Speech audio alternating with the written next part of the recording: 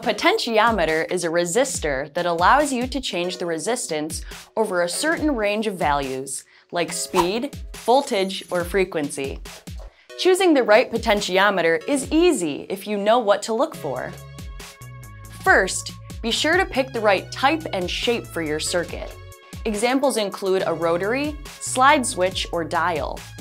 Make sure your potentiometer will fit into the circuit and that you can reach it to make adjustments. Next, you'll need to understand Ohm's law, one of the fundamental relationships found in electronic circuits. It states that for a given resistance, current is directly proportional to voltage.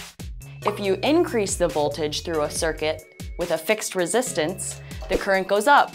If you decrease the voltage, the current goes down. Another thing to keep in mind is the potentiometer's range.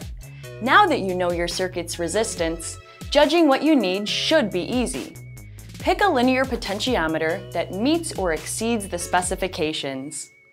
A potentiometer that covers a range of 0 to 100 ohms will not be useful if you need to operate up to 1000 ohms.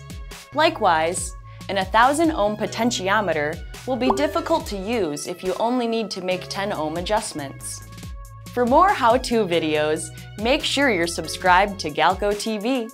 And be sure to check out our huge selection of potentiometers and more at galco.com.